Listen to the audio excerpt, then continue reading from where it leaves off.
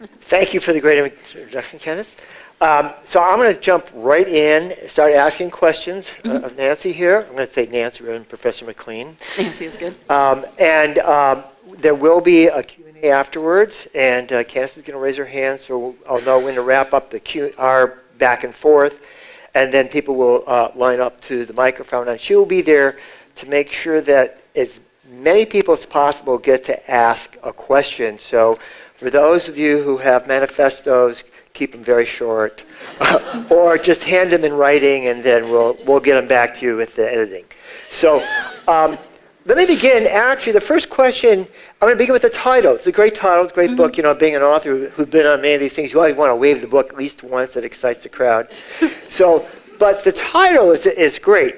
Democracy in Chains. And I saw that, I was thinking, that's unusual, Democracy in Chains. But the subtitle, in some ways, captures it. Mm-hmm. The deep history, which means basically it's not just, you know, small, we're going deep here, of the radical right stealth plan for America. So I'm going to do a quick one sentence summary and ask uh-huh. you if that's sort of accurate, and then uh, ask you to go a little deeper, because I think I want everyone just to get a, a mm-hmm. general sense of what we're talking about here. Um, and as I, you know, I read the book and did a review, actually, it's in The Stranger, the, uh, the basic thrust is that um, there's been some coordination over a number of years, and I'll get to, you can get into that, between, let's say, billionaires, uh, academics, often funded by the billionaires, journalists, and politicians. And the coordination varies over the years and varies in the, in the, the kind it's, it's done. But the theme is all around, as I understand it, protecting the accumulation of wealth under the understanding that it's economic liberty. And so the definition of liberty has been defined as protecting their freedom to accumulate wealth. Is that roughly, or go into deeper than that? Maybe that's too, too thin. Sure. And also comment on any criticism that might come across like, well, that's just another conspiracy theory. Sure. Um, well, so I, maybe I should start by saying too, I'm a historian. So it's you know, and I found this story from the archives. I when I set out to write it, the two people who loom largest in the book, an economist named James McGill Buchanan, and of course Charles Koch, uh, were unknown to me. I'd never heard of either of them in 19 uh, or 19, 2006 when I started research. I was looking at another topic, which was the state of Virginia's uh, response to uh, Brown versus Board of Education and its massive resistance policy in particular, and the role of school vouchers in that. But I came across this Buchanan and Charles Koch ultimately through that research. So, so it's I think you summarized it really well, Nick. But what, maybe what I would say is uh, to add to that is that it is the story of a set of ideas that had their crucible in Virginia as the state of Virginia was fighting against the civil rights movement, seeing it as the latest incarnation of the kinds of popular struggles that, that brought the New Deal.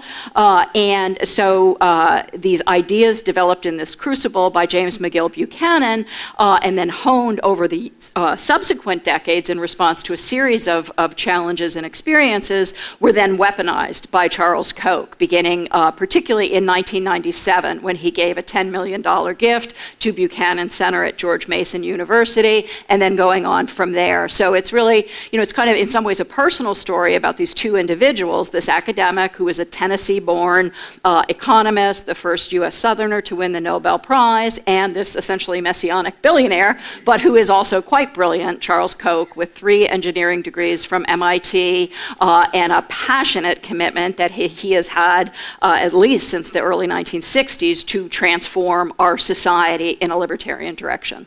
A great summary. You know, I want to actually um, get into that a little bit deeper.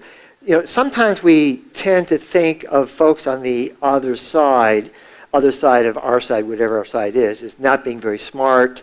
And I'm, I'm glad you pointed out that Buchanan was, and, and uh, Charles Koch, uh, and I don't know about his brother David, how, where he fits into it, other than he ran as a vice presidential candidate of the Libertarian Party. Uh, but as you said, to avoid uh, the uh, campaign restriction laws, um, they really emphasized the role of ideas in changing public opinion and the opinion of politicians. could you explain how they how they moved the ideas, how they develop the ideas? Did they get resistance from the ideas? And is there a countervailing force out there? Do you, do you see that is is, uh, is in is in motion? Right. Well, when they, Buchanan set to work in 1956 in Charlottesville, Virginia, at the University of Virginia, there was a huge countervailing force um, present. It was the dominant set of ideas in American public life, assumed that government was the body to which citizens could look to remedy market failure, to address inequality, to kind of, you know, in that classic um, uh, cliche, level the playing field. And that set of ideas had been developed over the progressive era with federal regulation of pure food and drugs, of food supply and things like that, deepened during the 1930s with the recognition of workers' right to organize with the Wagner Act and the creation of the NLRB, the Social Security Act, and all these other um, uh, creations of the New Deal era that assumed that the federal government had to play a role in offsetting corporate power to empower ordinary citizens and address our needs. And then the civil rights movement, of course, was a new incarnation of that, saying that the exclusions that had been built into American citizenship and into those New Deal policies, for that matter, must be remedied uh, in the name of human dignity and equal citizenship citizenship. So it was this kind of wave through the 20th century that built on the idea that the liberal economist uh, uh, John Kenneth Galbraith called countervailing power, right? And so he said that in an age of huge corporations, you needed to have the countervailing power of workers, you know, labor unions, of consumer groups, of other groups that could make it so the corporations didn't totally dominate uh, public life uh, and economic life for that matter. And so Buchanan was taking aim at all of that. He was part of this wider free market fundamentalist cause, some people call it. Some people call it neoliberalism. Uh, but this group that developed in 1947 called the Mont Pelerin Society, I don't want to go too far in the weeds, but he was part of that, that larger grouping that included um, uh, Milton Friedman and Friedrich Hayek. Uh, but what Buchanan was doing that was distinctive was to try to undermine popular trust in government, popular faith in government. Um, so that was the, the burden of his approach approach, and it was actually turned out to be quite successful. You know, he would say to grantors, the grant, uh, potential grant, uh, um, grantors to his project, these right-wing foundations and businesses and so forth, that we think what we are doing is, is fundamental to changing the outlook for the long term in changing ideas about the efficacy um, and the justice of government action. And he was quite right in that. I mean, both, both men have been very far-seeing, playing a very long game, very willing to wait decades, you know, not looking just toward the next election cycle, but really laying markers down far in the future. And, you know, for that, I don't agree with the substance of their views, but I admire that commitment to a long-term vision uh, and to understanding that you need to build a sustained movement to achieve um, that good. kind of vision just throwing out some terms because we all use terms to e either you know pigeonhole folks or try mm -hmm. to describe. So you know, uh, my background is, is some in political science, sociology, and I always thought of, you know, liberals and conservatives, and then you have, um, well, you can be radical right or left, mm -hmm. but then you have reactionary, mm -hmm. reacting to something. What you described regarding Buchanan and yeah. uh, Koch's ideas seem reactionary, yeah. but you also use the term radical libertarian, and in mm -hmm. fact, you quote Senator, Senator I think Helms uh -huh. from Utah, or who Hatch, had, yeah. oh, Hatch, who had uh, uh, was challenged maybe by a Tea Party person mm -hmm. or someone who was supported by the radical libertarians as saying basically these aren't conservatives, they're radical libertarians. Mm -hmm. Go into that a little bit of like what, what are we looking at? What kind of groups and do they represent real differences? Like, is yeah. there a difference between conservatives and radical libertarians or libertarians and radical libertarians? Yeah, uh, yes. So I actually think the best descriptor for them came from a book that was published, I think, in the late 1950s, and the title was Radical Reaction. Um, so uh, they're radical reactionaries, really, but that's not exactly a popular name to give to yourself when you're trying to influence others. Um, so they've flown under other flags. Um, they often like to call themselves classical liberals you know, meaning going back to the 19th century free market, anti-state liberals, but that's not accurate either because those folks were pro um, uh, education, believed mm. that there should be no, you know, no harm principle, um, uh, many things that these guys don't support. So then we get to the question of libertarian versus conservative, and there's a really significant difference between those. And in the 1970s, uh, Charles Koch himself was very clear about that, about insisting that his grantees be unequivocally radical. Um, no compromise was his motto. You know, he would not support anybody who wasn't radically committed to this full, hard-edged libertarian agenda. And the Cato Institute that he founded in those years was actually um, excoriated conservatives. if you go back and read some of the things that they said about conservatives, they were just absolutely contemptuous of them um, and of the religious faithful as well. You know, they were devotees of Ayn Rand, and she was deeply anti-clerical, etc. Uh, so for a long time, that was the approach. But when Koch got serious about trying to influence American politics, that wasn't so helpful anymore. And he realized that since libertarians represent maybe three or four percent of the population, you know, just according to polls, not even people who would be willing to do the work, they wouldn't get anywhere with numbers like that. So they had to find larger um, uh, uh, collections of allies. So they look particularly to the religious right um, as a huge source of potential support, to self-identified conservatives in the Republican Party. Now they've been looking to nativists and the kind of thing that we've seen, uh, you know, uh, come up since the Tea Party uh, with a vengeance, and particularly in the last two years with uh, um, the Trump campaign and, and uh, moving forward. So, so there's this blending that you see, but they're really quite distinct because the libertarians ultimately are committed to the absolute supremacy of property rights, right? I think of them as property supremacists. Um, and in that quest, they've been willing to use other things, including white supremacy, as I show in the earlier chapters of this book. Uh, but uh, conservatives, I don't really know if they understand fully who these folks are or how they are being used by them, but it is a very different uh, vision. I'll just give you maybe one example to, to concretize it. Um, the uh, Tea Party groups were early embraced by the Koch donor network uh, and supported and seen as battering rams and, and you know, foot soldiers and so forth. But the, uh, one of the most systematic studies we have of the Tea Party, the most systematic study, could not find a single grassroots member of the Tea Party or leader who wanted to see the privatization of Social Security or Medicare. But that is exactly what the Koch donor network is using their energies to do, among other things. So I think that gives you a sense. But I actually think the inherited labels that we have don't really correspond to our situation anymore because this is not a Republican or a Democrat thing, right? The Republican Party has been captured by this Koch network, and we can talk about how if you want. But so the party labels don't necessarily make sense, but also liberal and conservative. Like, I feel like I'm a conservative now. I want to conserve the popular achievements of the 20th century, right? I mean, I want government to be able to ensure that we have clean air and water. I want seniors to be able to have retirement security. I want kids to have well funded public education. I want to have anti discrimination legislation that works works. So I feel like, hey, I'm a conservative, and they are these radical libertarians. Well, I mean, I'm not really a conservative, but you know what I mean. But there's, there's so many openings here for questions, so I'm going to uh, toss two at you, but one at a time. Um, let's talk about your statement about the, Koch brothers or uh, uh, radical libertarians, how they've either taken over the Republican mm-hmm. Party or have had outside influence. We often hear about the Freedom Caucus in mm-hmm. co- uh, Congress. What's the relationship between them and the Freedom Caucus?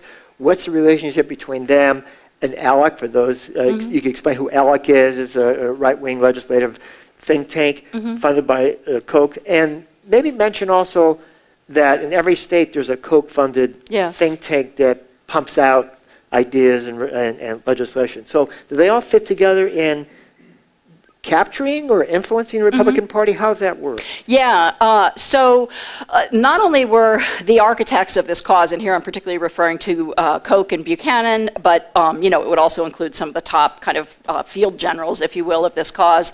But not only were they taking ideas very seriously and playing a very long game, they also understood that you had to rewrite the rules in order to get what they wanted. And Buchanan had given this advice, and I think that's why his advice was so important to Koch.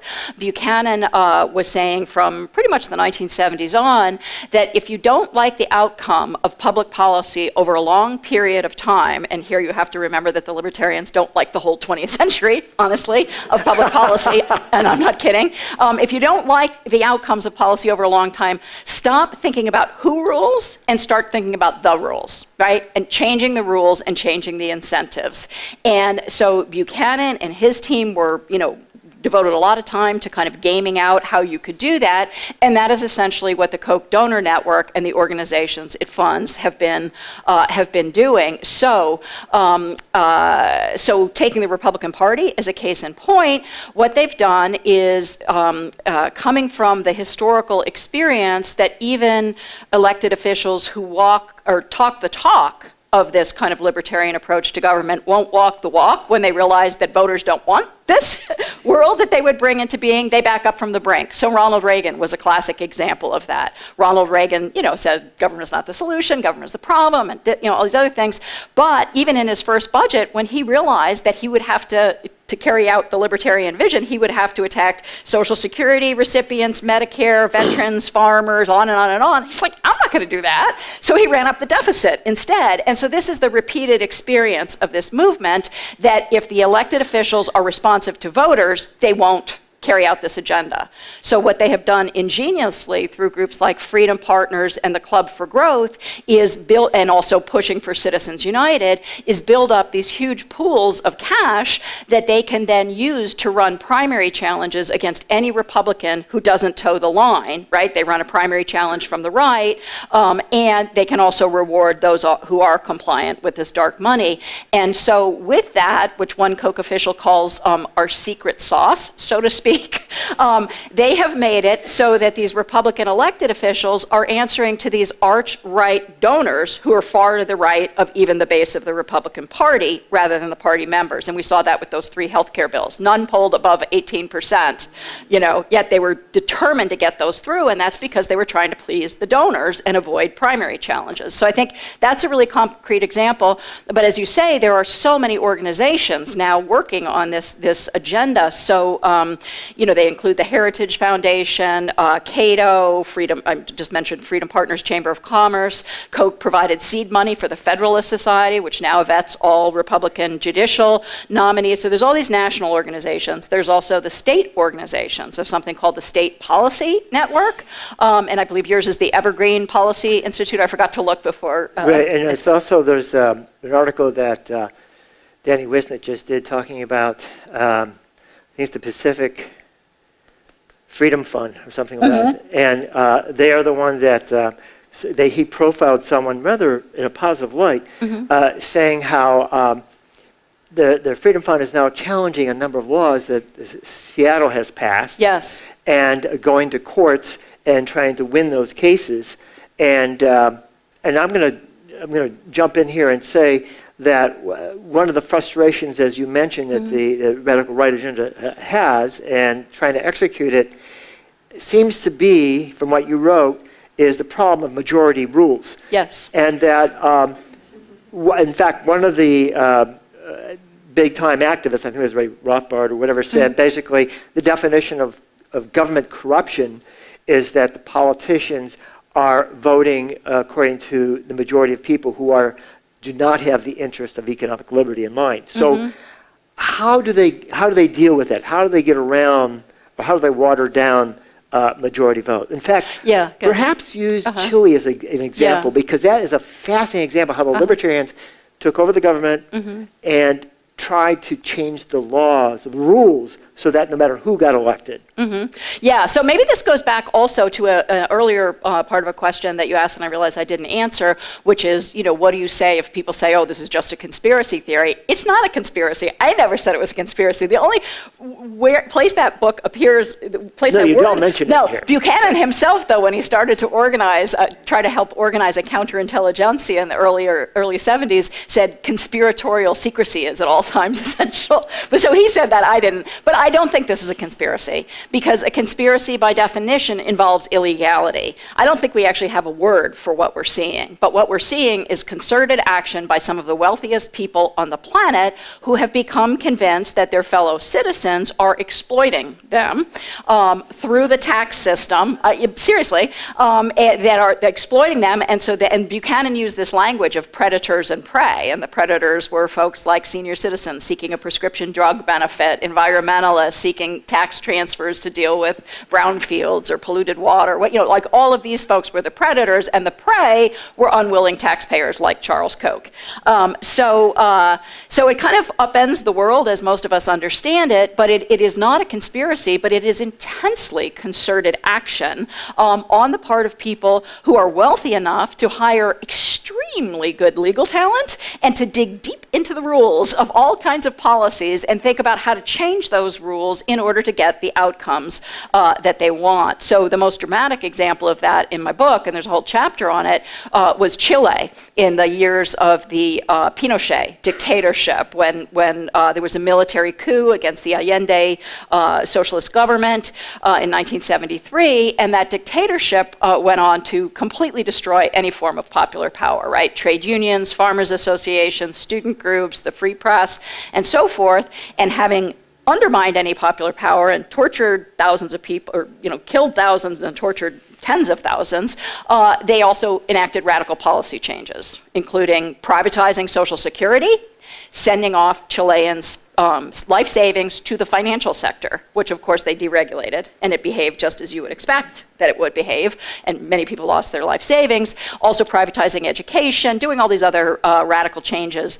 But in 1980, they realized they were going to have to go back to civilian rule at some point. They were going to have to have a representative government. So they wanted to go back to that with a constitution that would keep the people from being able to change what they had done. And Buchanan was brought in to advise on that in 1980. It's called the Constitution of Liberty, and to this day, uh, it has made it impossible for Chile's elected leaders, in the words of one, to get her hands around the economy. Um, so Michelle Bachelet, I, I, think I might go too into the no, no, no, keep going, but. Uh, I, I, think the, uh-huh. the challenge, maybe many people don't realize, is that it's not just policies, but like changing yeah. the rules of the game. Yeah. Um, in their instance, I think uh, one third of the legislators are guaranteed to mm-hmm. basically be right wing. I'm not sure how they do it, but yeah. it's in the Constitution, and the change the Constitution mm-hmm. is very difficult. You made mention in our discussion, I'm not sure if it comes out in the book very much because I don't, don't remember seeing it. There is a, an attempt to change the Constitution right now. Yes. Could you talk a little bit about that? Yes. While uh, we have all been paying attention to the distractor in chief, right, with his shiny objects and his tweets over here, keeping us all in a state and you know occupied with that, the uh, um, Koch dominated state legislatures around the country, with prodding from the American Legislative Exchange Council, ALEC, and others, have been racking up authorizations from the states to convene a constitutional convention under Article 5 of the Constitution. And they now have 28 of the 34 states needed to call a constitutional convention while we've been distracted with other things. Um, and to understand how radical a proposition that is, there has never been a state convened constitutional convention since the document was ratified, right? All the amend amending of the Constitution has gone through the familiar route. You go through Congress, you send it out to the states, you have these open public discussions, et cetera, et cetera. Uh, but this Koch donor network is trying to change our ultimate rules document, which is our Constitution, by convening this uh, um, uh, state um, uh, uh, assembled uh, constitutional convention. And one of the things that's really troubling to me is that that they only need six more states. There are six states that are dominated by the Republican Party, both houses of the legislature, that have not yet authorized and I believe that the deficit that they've um, uh, pushed up through the tax bill that was passed in December um, and the recent budget will be used as the excuse to get the authorizations from those remaining six. So this is really, really serious stuff. I mean, even conservative justices like Burger said this would be crazy to call a constitutional convention like this. It would necessarily be a runaway convention, very, very dangerous and destructive. But they're really determined to do it because they want to change our ultimate rules book, just like they changed Chile's. And it's, it is a legal function too. It's What's right that? in the Constitution, so Yes. they could Yes. call something like this together. Yeah, I think they actually take pride in the fact that they are able. I mean, I think they are vulnerable on tax law. That's the one place, you know, with abusing 501c3 uh, laws for nonprofits that shouldn't be engaged in, in political um, uh, campaigning and so forth. But basically, yes, this is a legal effort. You know, they have lots of law professors that they fund and legal thinkers, um, and they've been thinking about this stuff for a long time, and they're figuring out ways to move legally to bind popular power. I, I was unaware of this movement until I went to a couple ALEC conferences, and uh, they had major speakers talking about that. Wow. And one of the major pushes is to do, uh, there's actually a division in the, in the right wing. Some want a constitutional convention to just look at everything. Others want to limit it just to passing a uh, balanced budget amendment. Yes. Um, which I think would, they see as a way of crippling government. Yeah, and also these guys are, you know, I mean, if you have a lot of money, you can hire a lot of people, right? And so they hire pollsters and they understand that a balanced budget amendment actually polls well, as does voter ID. Um, uh, so those are things that they push for um, above all. But the thing that most people don't understand about a balanced budget amendment is that it would undermine Social Security and Medicare and all the kinds of regulations that people care about. And so in the past, when they've tried to get a balanced budget amendment through Congress, it's always hit the shoals of the public starting to understand just before it goes through and backing up from the brink. So, but I believe they're going to use the balanced budget amendment like a grocery store uses a loss leader, right? Take this thing that's popular, get people in the door, and then you get this other stuff through. And just to give you a sense of how radical their vision is, one of the things that they've pushed for, and actually some state um, state authorizations I think have included, is they want to repeal the 17th Amendment to the Constitution. Now you're all scratching your heads, Yeah. going, which one is that? Uh, that is the one that allowed the direct election of U.S. senators. The progressive era measure, uh huh. Because in the progressive era, people could see, then, you know, at that point, state uh, governments chose the US senators, and people could see that corporations found it very easy to dominate state governments. And that's why we got that amendment, so that we can directly elect our US senators. Well, these guys see the same thing. They're very good at dominating state government because only usually about a fifth of people pay attention to what's going on in their state legislatures. So they are trying to get rid of that. But that's you know just one uh, example of this. You can actually go online if you look up liberty amendments. You'll see there are ten of them. Uh, some poll tested, like the balanced budget amendment and the voter ID. You, read in your title, and then you talk about it in, Uh-huh. in your chapters, the use of stealth. Yeah. That it runs somewhat along the lines of since the majority of people do not support many of their Mm-hmm. uh, policy objectives, um, they need to get it, they need to market it in a way that is not necessarily straightforward, shall Right. we say. And some of the uh, strategies, again, in your book, you mentioned that they uh, end up admiring, as, uh, Rothbard and some other people, Mm-hmm. is V.I. Lenin, and not in the result, but in how uh, Lenin was able to uh, overthrow, in that case, with the Kerensky government, Mm-hmm. which was a, supposedly a democratic government. And so, is there, were they serious or are they, how does that tie into the stealth strategy? Mm-hmm. And is there really, as you said, as you began to say, a cadre of folks who are supporting these ideas and this forward movement? Yeah, so they definitely, from the 1970s onward, there was a particular uh, libertarian named Murray Rothbard who was, uh, Charles Koch was patronizing at that point, who, and it, it's kind of a funny story, I won't go into it, but he had grown up in this milieu in New York with relatives who were communists, and he was kind of a polymath guy and loved to, anyway, so he recommended that Charles Koch read Lenin um, to think about how to carry out a radical transformation in a place where you didn't have, you know, sort of full uh, majority, majority support. And so the, the core thing I think they took from Lenin, what was a, a, great deal of strategic acumen, but particularly an emphasis on developing a cadre of people who would be deeply, deeply trained in these ideas, who would be really committed to the cause,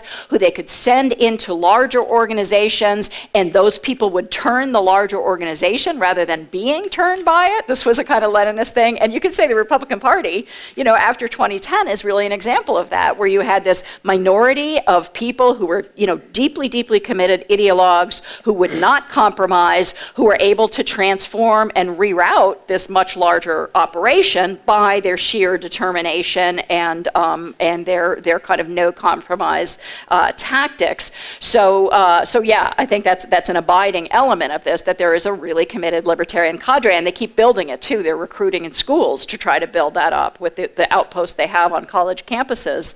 Uh, but as far as the stealth, yeah, the stealth is all over this. And I think if you take nothing else from our discussion today, or if you read the book, from the book, the single most important finding, I believe, of my research is finding these guys, the architects of this cause, saying again and again in their own words that they understand that they are a permanent minority that the public does not agree with them, that the public does not want the world that they are trying to bring into being, and that's why they are using these tactics of going around and re-rigging the rules. Things like voter suppression, right? Keep away those, keep, keep from the polls those who would oppose this agenda. And clearly they have targeted African Americans, uh, but not only African Americans. That's the case that's, that's legally actionable, so we've focused on that, but they have aimed at college students all around the country to try to keep young people from voting because they know young people, whatever their backgrounds, tend not to agree with this agenda. So voter suppression uh, is one. To get that voter suppression, they promote the myth of voter fraud. There is absolutely no serious research anywhere that has been able to confirm that this is a significant problem in our society, and yet it's a talking point of all these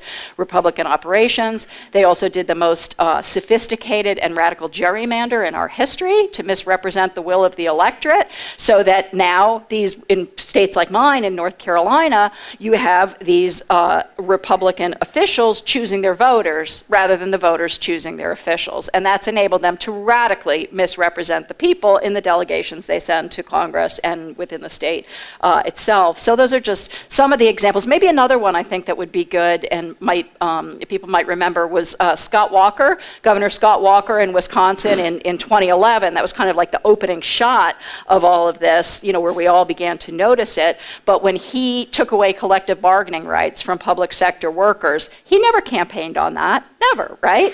Um, but when he was talking among his supporters, he said, This is our moment. And then in another context, he said, We dropped the bomb, right? Meaning this was the single most important thing that they could do to reshape the terrain of politics, was to, to undermine public sector labor unionism. And again, I think if you're not honest with people that that's what you're trying to do, but that is what you're trying to do, that's stealth. Um, this may be the last question, uh, for me at least, and Uh-huh. then we'll go to the audience. Um, Trump, Trumpism, Uh-huh. Yeah. and particularly tying it into um, what you write in your book about the recognition when you want to change not just the policy but the rules, focusing on the courts and Yeah. getting new judges in. And I was surprised to read that both uh, read that both Kennedy and Powell in the Supreme Court Mm-hmm. came out of that. Uh, Koch-funded uh, institutions. What do you see happening as now and, and going forward with their agenda and how Trump, uh, there's like 40 openings right now in Yeah. the various federal positions. Yeah, I should say um, uh, Lewis Powell and, um, and, and Anthony Kennedy both appear in the book. I don't know that they had Koch funding, but they Oh. were part of this Buchanan circuit Buchanan, that okay. kind of then merges with the Koch, uh, Koch network. But yeah, th- this, um, and I think this is something that people haven't recognized as much in writing about the. You know, we've had brilliant journalists like Jane Mayer who wrote Dark Money, uh, many other people, you know, who have gotten uh, lesser renown but done really good work about the Kochs have focused on aspects of this story, but not enough, I don't think, on the legal strategy, which has been in place since 1970. And there was a guy who Buchanan had hired as the dean of the law school at George Mason, a guy named Henry Manne, who in 1970 began running these uh, summer uh, uh, training camps, kind of for federal judges and legal scholars. They, people would joke about it as Henry Manne Summer Camp.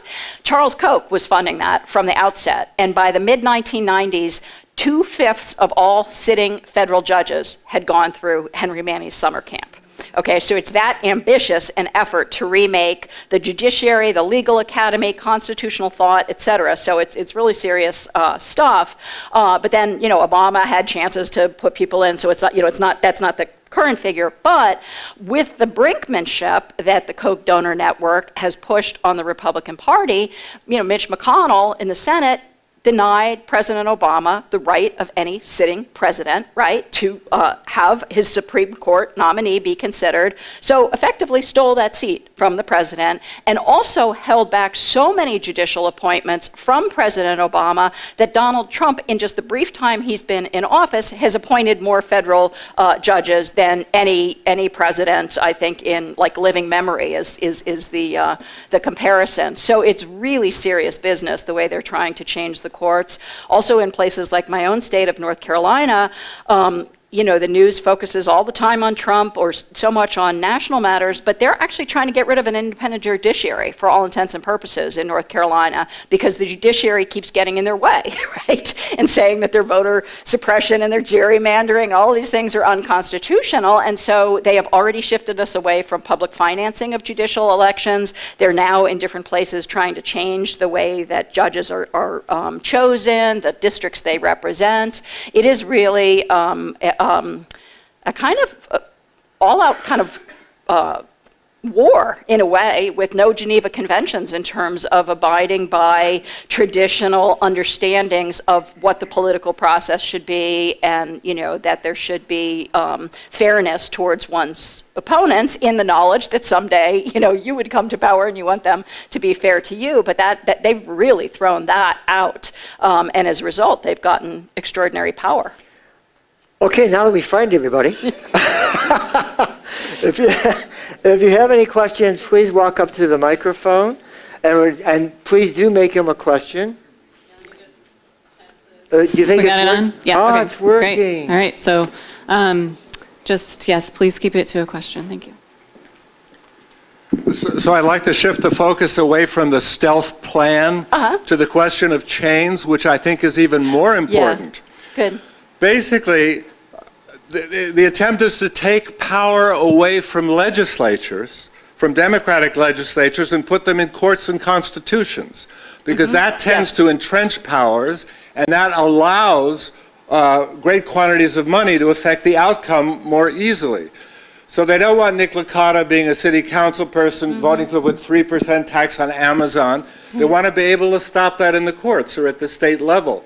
So I think we really have to think if a, a totally judicialized uh, political, political system is really political or can be democratic, and whether we have to somehow find ways to transfer power back from the judiciary and the Constitution, the fundamentalist Constitution, to legislators that are democratically Okay, that's the question. Excellent, excellent, excellent question and very well expressed. He was saying that this its strategy seems to be trying to take power away from legislators as the elected representatives of the people and lock it into the judiciary with a transformed constitution so that legislators like Nick can't do things like a 3% tax on Amazon or increasing the, you know, uh, living wage or, you know, having anti-discrimination ordinances. That is exactly right. That is precisely what this strategy is. And it's very interesting that after all these years of saying that they were against an activist judiciary, if you go and look at what particularly the libertarian right is saying now, one of their top people wrote a book called The Case for an Activist Judiciary. They want a judiciary, and Buchanan urged this, like the judiciary of 1900, that could strike down any kind of popular reform measure as an infringement on property rights and a violation of freedom of contract. So you're, you're, you're totally, uh, totally right about that. You know, and it's interesting that you mentioned um, Amazon and that, you know, that, uh, here because I've been watching these, um, uh, the citywide bidding that Amazon is doing for this, you know, second headquarters, and it's very Buchanan-like as a strategy in that the different cities are left in the dark about what's going on and what the other bids are. And Buchanan actually was um, advising business, corporate people, and right-wing foundations from the 80s on that they should be adopting he said, on the spectrum of secession. Uh, that would include uh, privatization, devolution, federalism, etc. But the idea is setting it up so that corporations who wouldn't be powerful if the people were voting would be able to use the threat of exit um, or coercive bargaining to get what they want. So, um, so I think that, that that's an interesting example too. That the more we have things out in the sunlight and subject to uh, popular discussion and deliberations and voting, the more democratic a society will be. And if we lose that, we're in trouble. What has been the response of your students at Duke University to your book? And I don't know if you teach a class about this, but I'd be very curious to know if they understand the stakes of what you have written about and if they have been energized by what you are talking about.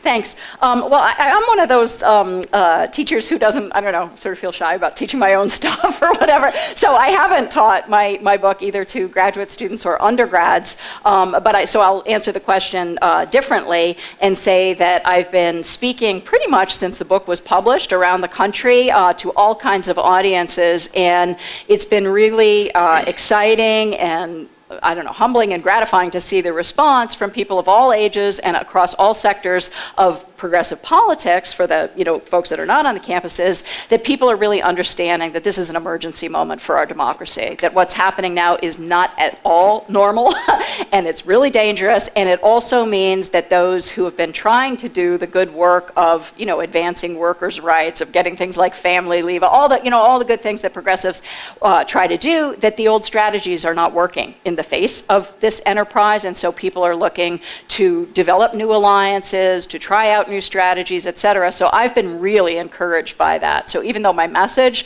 sounds very dire, I think it's also true that there is no crisis that's not an opportunity. And this opportunity is not only to defend, but to renew and enrich our democracy going forward into a new century because that's what we got to do. so, and there's a lot of energy. I'm seeing a ton of energy for that. Hello there, the friend Hi, of mine. Uh, Professor Hi, MacLean. Um, so I, I, I, have many questions, all of which, most of which I will defer for later. Okay. So, but I'll ask this question right now. Uh, and the question is, so why, so what motivates these people on the right um, um, to buy into this program? I'm not talking about, because you mm-hmm. mainly speak in your book about, you know, the donor classes right. and, and, intellectuals. Uh-huh. So what about the people at the individual yes. mass level? Yeah. Why are they motivated to buy this stuff? Great. Yeah, so this is Professor Christopher Parker from the University of Washington who wrote a brilliant book called Change We Can't Believe In uh, about the Tea Party that you should read. Um, but so, and, and you're absolutely right that, that my book really focuses much more on these high strategists, you know, and what they were doing. But as I said before, you know, they, they understood, um, certainly by the 1990s, that there was no way that they were going to make it on their own steam. So they had to get these wider groups into action. So one of them is the religious right, particularly particularly white evangelicals, and because white evangelical, it's not a theology, right? Because there are African American uh, evangelicals who don't share these political views. It's really, we're starting to realize how much white nationalism has been part of white evangelicalism, particularly in the more, uh, certainly in places like Liberty University and whatnot. And so, uh, so they have tapped into these broader bases and have no shame about uh, activating the fears and the hatreds and the anxieties of ordinary people, uh, white people, to get them to the polls to vote for this agenda. So certainly that is the case with the religious right. I've seen this again and again in North Carolina, where these guys are really thinking about, you know, economic liberty and property supremacy above all. But to get people to the polls to make that happen, they have used prejudice against gay people, right? Saying, trying to get an amendment to our Constitution that would disallow um, uh, same-sex marriage. Um, the bathroom bill that you've probably heard about. So that was uh, to, against trans people. And then they had built into that that no locality could raise their minimum wages, right? So, yeah, uh, nice guys. Um, anyway, so there's that. And then also, I will say, too, with the, the incitation of racism and the, the, the strategic use of racism that we've seen, particularly since, uh, you know, during the, the um, uh, primary season and the election of Donald Trump and his conduct in office, um, that has become so much more apparent in the ways that you wrote about in your book, or anticipated, I guess I should say. But um, I'll just give you one example. There's a group called Judicial Watch, um, and uh, it's endorsed by Vice President Mike Pence and by Ed Meese, who's been working with Buchanan since the 1970s. had I mean Buchanan's dead now, but had been working with him since the 70s. He also endorses this group, and this group I know because my spouse got on the mailing list, so we know what all the folks are up to. They were sending out mailings regularly. I'd say probably like every week in the run up to the 2016 election saying, Do you realize your election is about to be stolen by millions of illegal aliens. I mean, every word just about in that, except the prepositions, is a punch word, right? To these anxious white folks who fear their society's changing, who don't like all these brown people coming in, and but it's total fake, right? Because these undocumented people aren't trying to vote; they're just trying to work. They don't want to get caught by the authorities and lose their chance to work. So it's it's just incendiary. Um, uh, demagoguery. So yeah, so they they can't get the ball down the field without tapping into these other things, which I also um, saw Buchanan's team doing at the University of Virginia in uh, the era of massive resistance. That's where my story starts. And so Maya Angelou, the great writer, once said, um, "When people show you who they are, believe them." Uh, so that's kind of what I took from what I saw in 1959. Thanks, Chris. Uh, first, just a suggestion, I think, in avoiding the term conspiracy, simply pointing out that this is a highly organized anti-democratic movement yes. would be a way to make clear what's going on. But uh, a question about Buchanan's books, mm -hmm. do they have any real continuing impact? I mm -hmm. tried to get through a couple of them, and it's pretty tough going, and I find it hard to believe that anyone takes this stuff really seriously. well, I like I like your your summary. So, what do you say? A, a, very determined, well-organized, concerted, anti-democratic movement. I think that's a, a, good descriptor on Buchanan's work. I mean, he actually was a much better writer than most economists. if there's anyone here who is an economist, they might challenge me. But his he, he really wrote more in the vein of rethinking the social contract. Um, so there's a lot of game theory and, and stuff like that. But but he is kind of of readable compared uh, to others. And well, his work can be, um, uh, I mean, it does have, like, as a political scientist I was on a panel with about this, and she said, you know, there's some um, heuristic value, people mm -hmm. will mm-hmm. say, to, I, you know, sometimes you have a good idea to think with. Like, hmm, would it be interesting to see if politicians are really just trying to buy votes? Or, you know, there's different questions that you can ask. And I'm not against the asking of the questions at all. I teach the history of social movements. I'm like, for everybody's right to make an argument and make a case. It's the stealth part that I can't abide, um, and, and the dishonesty uh, um, and, and, cynicism with which this cause is advancing. But I mean, he was a very smart man. His, his work did get redundant over time, I would definitely say that. But I mean, he did win a Nobel Prize in economic sciences, although if you also know the history of the economics Nobel Prize, it's different from the other prizes, and it was actually set up by the Swedish bank, so it's not the same kind of recognition that, say, the, you know, the prize in literature is, or the Peace Prize, or other things. But thank you for that. Yeah. So I, I'm um, a physician, but I train young people in health and medicine uh-huh. uh, who, are, who are trainees to use social media for health advocacy and public, public uh-huh. education. Uh-huh. It's one of the things I do. And when I was sitting there, um, you know, with the fear of God being struck in me by this conversation, which is like, I mean, not that I, I was completely unaware of it, but mm-hmm. the extent of the concerted, widespread, um, highly successful, uh, almost there, probably will get there in six states, kind of uh, state of affairs, I thought to myself, okay, I've seen people on social media, which should be the great enlightener and prevent secrecy uh -huh. from happening. I've seen people say things like, don't pay attention to the distractor in chief, pay attention to what's really happening and what his mm -hmm. antics are supposed to hide. I've seen people make these cryptic comments, but I don't know if that's so helpful. I think it would be much better if there was a way to train the now, as mm-hmm. you say, one of the voting uh, groups that's disenfranchised is millennials, right? Mm-hmm. So these young people are one of. It would be really wonderful to train them to shed light. Mm. And so I wondered if you know of anyone doing this, mm-hmm. like as far as successful counter movements, uh-huh. because then I could point the people I train towards that kind of advocacy uh-huh. too. Because frankly, it is health advocacy. Because one of the yeah. things that's being being taken away is any kind of health safety net. Yes. And so um, that was my question. Do you know yeah. of anyone doing this in social media that I could look to that we could we could use their their ability to educate quickly uh-huh. about this process? Uh, fabulous question, and your work sounds really interesting and important. Uh, and public health is in the crosshairs of this operation. I've actually, I was so excited when I got a note from a national group of public health folks invited me to speak in the fall. I was like, thank you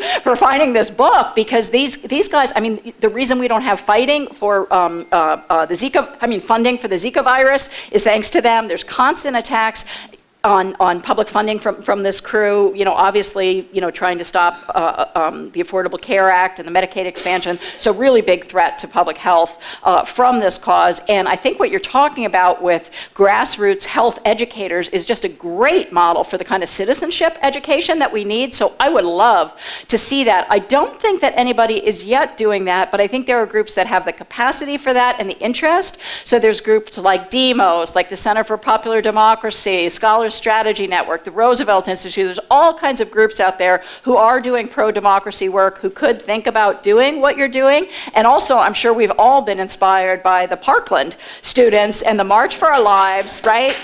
And that that is an amazing example too of young people, you know, telling, and they make fun of us. You know, I don't know if you heard, but the, the, one young man said, like, you know, it's like adults, like we can't use our phones and send text messages, and we seem not to be able to use our democracy, so they have to show us how it's done.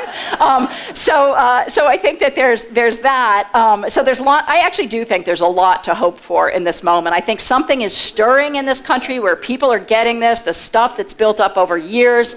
Um, we're responding to the teachers you know, the teachers from um, uh, West Virginia to Oklahoma, Kentucky, Arizona now, lots of people are reacting against the impact of what this donor network has been doing to our politics and public policy. But I think that's a brilliant idea to have young, young folks out there, and especially for things like the midterms, because there's two electorates. There's the presidential electorate and there's the midterm electorate, and we keep smashing back and forth between them. And if we could only get young people to see the importance of mobilizing at midterms as well as in presidential years, and to pay attention to state politics uh, and, and pay attention to politics in the campuses where they attend school, I think we we get a long way. So thank you.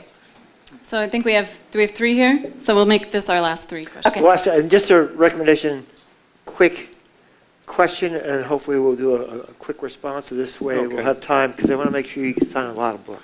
Okay, I actually have two questions, one for the audience, and it's a yes or, well, by show of hands, how many people here are under 50? Show of hands. Okay, less than 5% of the people here are under 50. So my question to you is, what's the silver bullet to get to the other 95%? I'm a, I'm a PCO, I'm a Democratic, Democratic Party Precinct Committee officer out in a rural area in eastern King County. And I walk around my precinct, uh, about 80% of them are Republican. How do I get to them? How do I get, how do I get to my kids who are mm-hmm. 30 and 31, one's married, has, I have a grandchild, mm-hmm. you know? So it's the other half of your question. You mm. know, it's, it's how do you, how do you, what's the tool? You're touring all over the country and you're mm-hmm. hearing sympathetic audiences. How about the people that aren't so sympathetic? What are you saying to them that maybe gets them to listen and to speak and to engage? So that's my question. Thank you for that. Well, first of all, I want to say I love older people, and older people are, you know, we're here at a senior center, and I'm, I mean, I'm, I'm being playful, but also older people are responding to this. I think for really important reasons to take note of, which is that older people, many of them remember how things were. I have met so many older Virginians, black Virginians, who remembered what the state was like, or white liberal Virginians, or others, you know, sort of pre environment. I mean, remember the Cleveland River started on fire? Anyway, so there's people who remember what things were like, how hard it was to get some of these things in place. How much is at risk now? And also, they don't want to leave this cruddy world to their kids and grandkids. So, I think that's a wonderful thing. Older people know a ton of people usually. They have networks, they have resources. If they're retired, they have some free time. So, I'm all for getting lots of older people involved. And I think the indivisible groups have been a great example of that, of older people and younger people uh, working together. So, I think, I think we need both. Um, but, but um, uh, so I don't, I guess that's not a but, it's an and. Um, but uh, the second thing that you raised about reaching others, I I don't have a magic solution for that. And I do also teach the history of social movements. So I tend to think your time, if you don't have a limited amount of time to contribute, your time is probably better spent getting, reaching the people who are easier to reach, who already share your values and care about these things and could be moved into action. But that said, I think there are also ways in which we could reach those other folks. This libertarian ethical system, and there is a starkly coherent ethical system that is part of this, is at odds with the best of every major religious tradition in the world. So I've talked about that at every opportunity I can. I've started to speak to religious audiences about that. I think that's one way to reach such folks. Also, Republicans. I mean, you know, my dad voted Republican. He died in 2000. I don't think he'd recognize this party now, but you know, there's people who are scratching their heads going, "What happened to my party?" You know, not that it was, you know, problem pre free before, but I mean, it's really become something else now. So I think there's those folks. The last thing I'll say the VA. I don't know if people are paying attention to this, but the Trump administration is rushing to privatize the Veterans Administration using the Koch created Concerned Veterans of America, a kind of fake group that they've convened with Koch monies, and they are pushing this through the VA against all the other veterans groups, including the American Legion, the VFW, AMVETS, and beyond. This is an issue that people need to pay attention to, and I think that's a place where you could really break some people off so, um, and help them understand that these guys are not their friends. So I guess that's, that's what I'd say. Thanks. And also, any questions we don't, we can also talk one-on-one when we do the, the signings. Uh, Thank you for being here. Thank you for writing the book. And I have an answer to one of your questions, which is what should we call this? But let me let me ask my question first, which is you talked about the the origins of this being in the anti uh, or the resistance to uh, desegregation.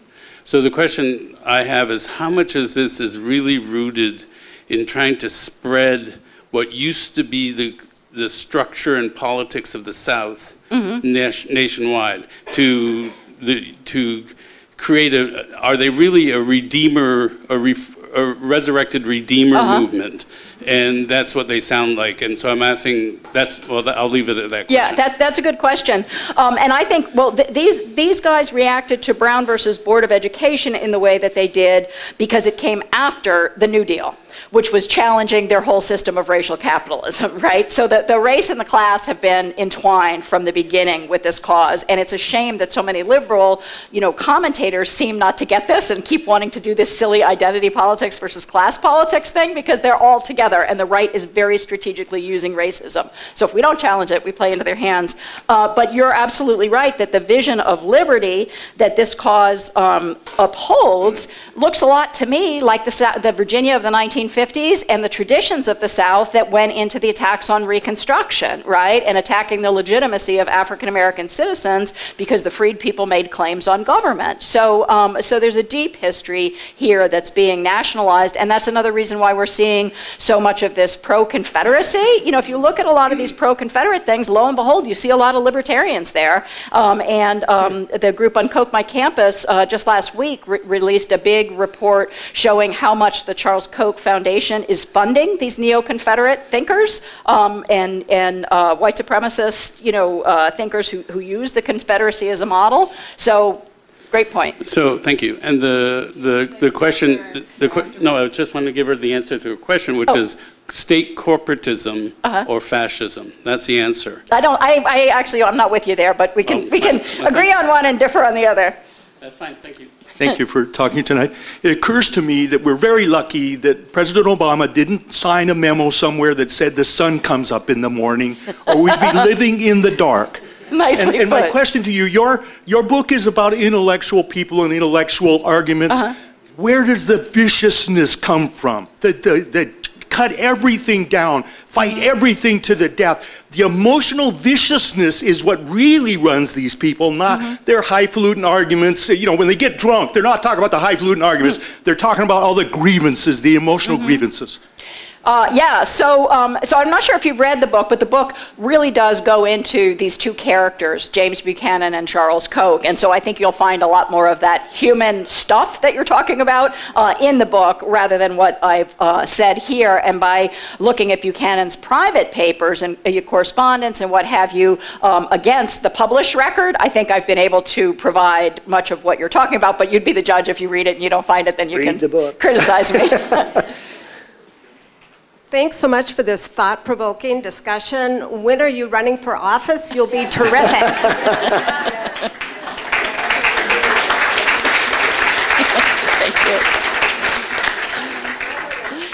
Well, I think that's it for questions. Did you have any closing comments you wanted to make? No, and I just, I I really do enjoy the one-on-one uh, uh, with the signings too. So if you have questions and we weren't able to take them up, feel free to ask them um, when we do the signings. Thank you Well, so thank you much. so much for Great being here. questions. Thank you. Nice to be in Seattle. Thank you, Nick. Thank you. Great.